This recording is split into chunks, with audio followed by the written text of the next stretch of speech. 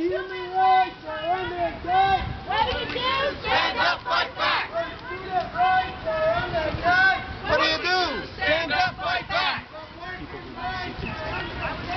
What do we do? Stand up, fight back. What do you do? Stand up, fight back. They were in the movie. They were at the Duke University.